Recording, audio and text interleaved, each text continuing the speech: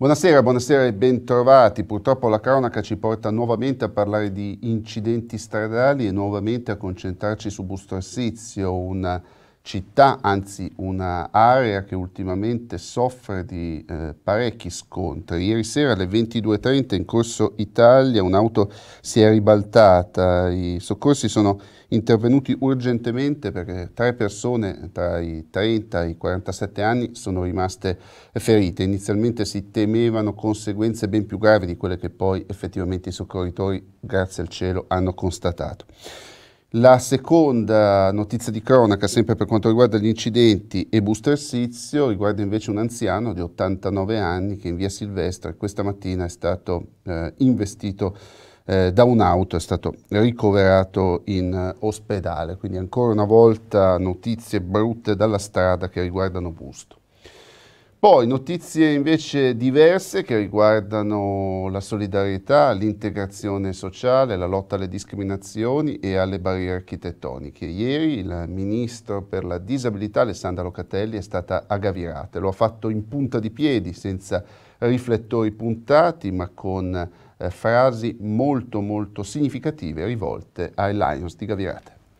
Smettiamo di identificare la persona con la malattia o l'handicap che l'affligge. La persona è persona e basta. Parole importanti quelle del ministro per la disabilità Alessandra Locatelli, la quale sabato, alla larga da clamori e riflettori, ha incontrato i Lions di Gavirate, condividendo spunti e riflessioni sulle prossime sfide di un cambiamento che prima di tutto deve essere sociale e culturale.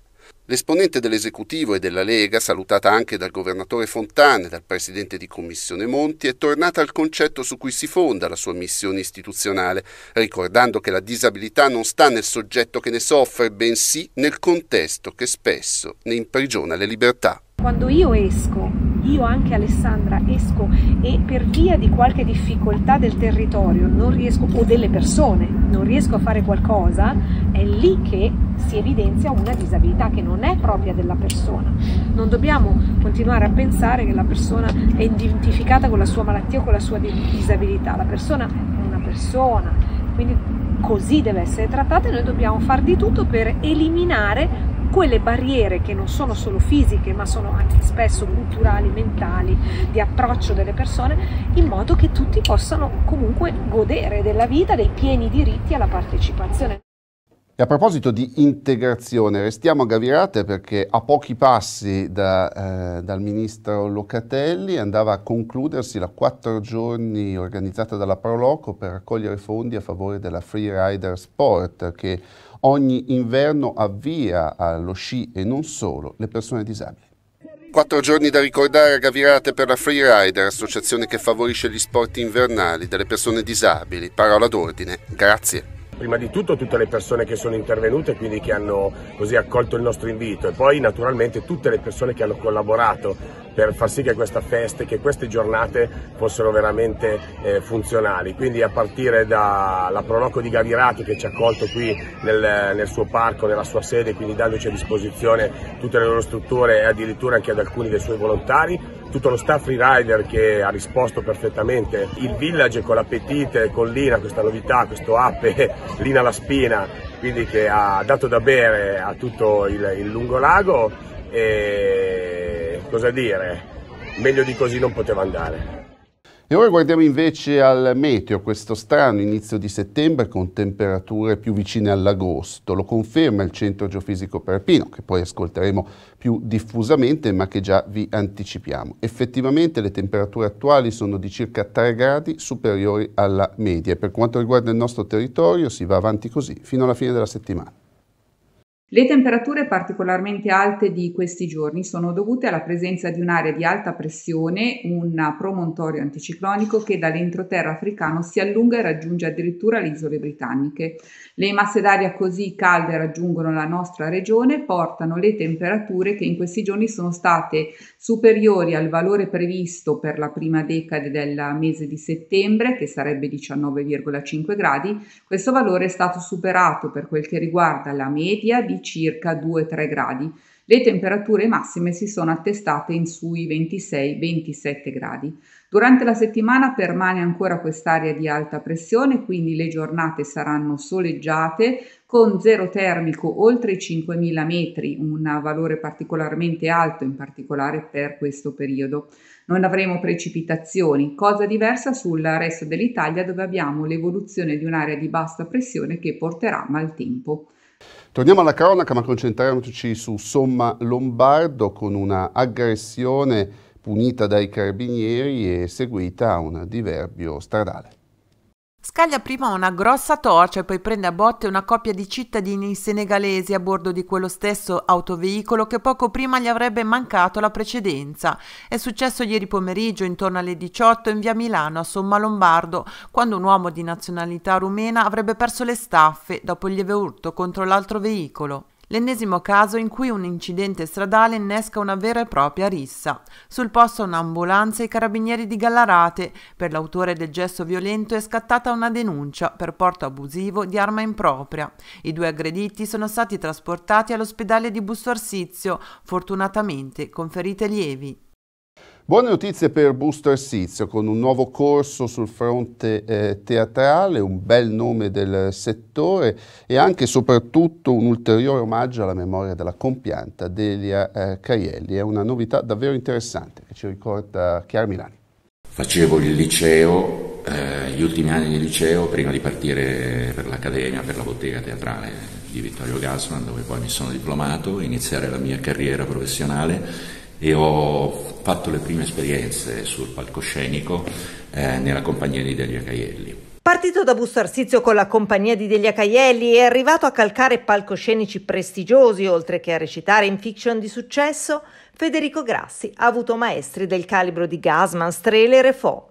Ora torna a casa come neodirettore artistico della scuola di teatro intitolata alla sua prima insegnante, una nuova realtà pronta a debuttare in piazza Plebiscito, dove sabato 16 settembre alle 16 si terrà l'Open Day. Vogliamo rivolgerci ai giovani eh, che possano trovare uno spazio eh, per crescere, per acculturarsi, per avvicinarsi a quest'arte magnifica che è quella del teatro, che è soprattutto un percorso di autoconoscenza e di autocoscienza. 3. Le proposte. Un corso di avviamento per gli amatori, uno di perfezionamento per gli aspiranti attori e quattro masterclass per chi è già professionista. Penso anche di portare una testimonianza positiva e di riuscire a convincerli, a spronarli a delle cose fondamentali, ad essere seri e a lavorare, lavorare e lavorare. Sul fronte politico, nel weekend appena trascorso, come sapete, il mondo intero si è concentrato su Cernobio, a Villa d'Este, per il forum Ambrosetti. Tanti statisti, tanti ministri, tante autorità italiane e straniere che si sono confrontate sul tema del momento. Tra i più attesi c'era sicuramente l'intervento di Giancarlo Giorgetti, ministro dell'economia, che ha definito un mal di pancia gli effetti del eh, super bonus. Vediamo.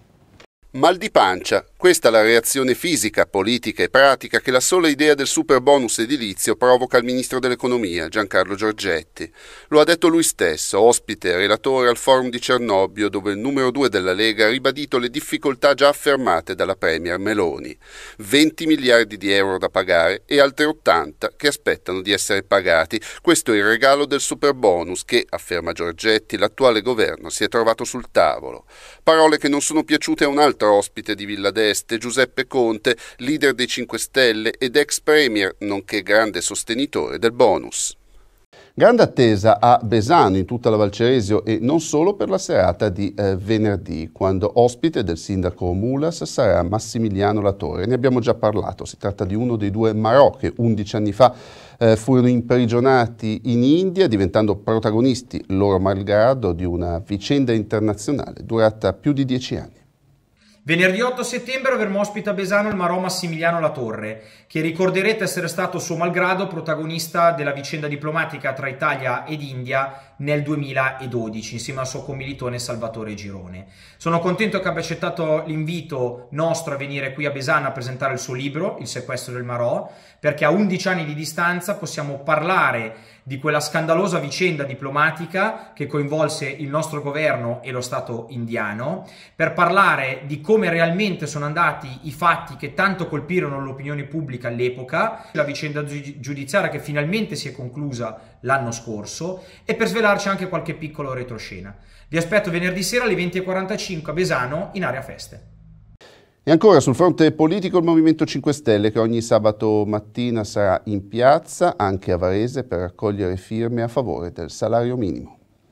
5 Stelle in piazza a Varese ogni sabato mattina, obiettivo raccogliere firme a sostegno della proposta di legge per il salario minimo. Perché vogliamo portare il salario minimo a 9 euro tutti i cittadini, quindi questo ci consentirà in qualche modo di garantire quei contratti pirati, in questo caso di sostituire e poter ridare dignità ai lavoratori quindi questo è. Tenete presente che i 9 euro sono esclusi quelli che sono 13, 14 e TFR. Su 27 paesi della comunità europea praticamente sono 21 che hanno già il salario minimo. Di nuovo Busto Ersizio per parlare di commercio, per parlare di aggregazione sociale, di convivenza civile, di una città che cerca di animare anche le eh, aree cosiddette periferiche, soprattutto se si tratta eh, di aree storiche e culturalmente vivaci come eh, Sacconago. Risultato tante persone in piazza e negozianti soddisfatti. Siamo molto contenti per l'ottimo riscontro. Non nasconde la soddisfazione il Comitato dei commercianti e degli artigiani di Sacconago, storico rione periferico di Busto Arsizio, dove il primo fine settimana di settembre la gente si è riversata in strada per la tradizionale festa che saluta l'estate. Quest'anno il tempo ha aiutato, commentano all'unisono il presidente Paolo Crespi e il segretario Stefano Moretti, che ringraziando i volontari già pensano ai prossimi impegni. A Natale in piazza dovrebbe tornare l'albero griffato Tiffany, mentre la festa medievale di ottobre è in forse e potrebbe slittare in primavera.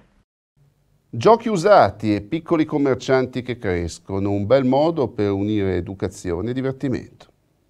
Una montagna di peluche, i libri della prima infanzia, i giochi in scatola, ormai fuori età, piccoli, grandi tesori in vendita per pochi spiccioli, per svuotare la cameretta e far spazio ai nuovi giocattoli più adatti agli anni che passano in fretta, ma anche per imparare a guadagnare qualche soldino, magari da investire subito per fare acquisti nella bancarella dei bambini a fianco, con tanto di diplomino di partecipazione al Kids Market promosso dal Comitato dei commercianti del centro città cittadino. Un evento che, ideato in tempo di pandemia, a Busto Arsizio sta ormai diventando una simpatica tradizione. Nella pagina sportiva, prima di tutto il calcio, vi anticipo che sono emersi ulteriori dettagli sul eh, calendario dopo quelli eh, relativi ai gironi, ne parleremo diffusamente eh, domani. Nel frattempo andiamo a parlare della sconfitta incassata dai biancorossi e la Varesina sorride. Un passo indietro rispetto al debutto stagionale. Il Varese perde 2-0 il derby di Coppa Italia contro la Varesina e viene eliminato, mentre il sogno delle Fenici continua. Davanti a oltre 500 persone i biancorossi approcciano bene il match, ma come contro la Vogherese vanno subito sotto. Corner dalla destra, difesa immobile, zampata di Cosentino su cui Cassano non è perfetto. La reazione del Varese arriva e gli ospiti si divorano un paio di potenziali occasioni interessanti. Dall'altra parte Vitale accarezza il palo esterno. Nella ripresa i ritmi crollano, una partita davvero sottotono scorre senza lampi fino al recupero, quando Guidetti si inventa una punizione dalla linea laterale che inganna Cassano, incrocio dei pali e tapin di oboe per il 2-0 che chiude i conti. Weekend agrodolce per la pallacanestro varese che ha chiuso la Valtellina Summer League di Sondor con una vittoria e una eh, sconfitta. Al di là dei risultati del campo, la squadra indubbiamente vanta dei talenti, tante cose da raccontare, buoni auspici sul fronte competitivo, qualcosa da rivedere invece in fase difensiva. Peraltro, insomma, eh, l'atmosfera cestistica in Italia è davvero galvanizzata dall'impresa azzurra. Sapete che dopo 25 anni l'Italia, eh, grazie al team di Pozzecco, torna ai quarti di finale e si giocherà domani. Quindi in bocca al lupo agli azzurri. Adesso invece tornando a casa nostra ci concentriamo sull'hockey. È stato un weekend importante. Da un lato eh, la partita vinta sulla Scona, dall'altro il bagno di folla dei Mastini. Vi raccontiamo tutto. Attacco e difesa, freschezza e gioventù, ma anche tanta esperienza. C'è un po' di tutto nei massini di coach Shanetsky che coniuga perfettamente le qualità dei singoli nel concetto di squadra. È presto per i giudizi e gli avversari di livello devono ancora arrivare, eppure il 6-1 sulla Scona lascia ben sperare i tifosi. Davanti ai quasi 600 della 5 Ice Arena ha cominciato a prendere forma l'identità del gruppo. Difesa ordinata, solo una svista nel finale e attacco pungente per una squadra solida e precisa sul ghiaccio. Settimana importante a tinte Alps. Mercoledì il Cortina sarà ospite di Varese per la prestigiosa amichevole contro i francesi del Briançon, mentre sabato i Mastini se la vedranno con il Fassa, un primo assaggio di Cortina Varese del 16 settembre che assegnerà la Supercoppa. Si ritrovano in piazza Montegrappa come un gruppo affiatato di amici in partenza per un lungo viaggio e in effetti è proprio così, perché quello che attende i mastini dell'hockey nella prossima stagione sportiva sarà il viaggio delle sfide e delle conferme, di un team sempre più ambizioso e di un pubblico sempre più appassionato. In Camera di Commercio il saluto del presidente Mauro Vitiello, gli scongiuri davanti alle parole del sindaco Galimberti che invoca il triplete, gli applausi a quelle del governatore Fontana che crede nel futuro del ghiaccio a Varese e poi la sfilata di giocatori e allenatore, la presentazione del ricco carnet di sponsor e partner pronti a sostenere l'impresa e i vertici della società, carichi e convinti. Abbiamo fatto questa squadra eh, costruita proprio anche per cercare di dare una continuità anche in termini di risultati e diciamo che ci siamo riusciti, quindi siamo molto contenti. La città di Varese è una città dedita allo sport, i tifoni sono fantastici e, quindi l'anno scorso abbiamo vinto tre coppe e la coppa della sportività e del pubblico ce la riconosce il mondo dell'hockey, quindi è una cosa bellissima. Poche ore dopo la vittoria giallonera sulla Scona conferma i buoni auspici. Avanti tutta Mastini. Mi fermo qui, il TG torna domani. Grazie a tutti. Buona serata. A tutti buonasera dal Centro Geofisico Prealpino di Campo dei Fiori. Domani nuvolosità irregolare al mattino, soleggiato in giornata, asciutto. Temperature in lieve diminuzione nei valori massimi, ma caldo soprattutto in montagna dove lo zero termico supera i 5.000 metri. Temperature massime previste tra 26 e 29 gradi.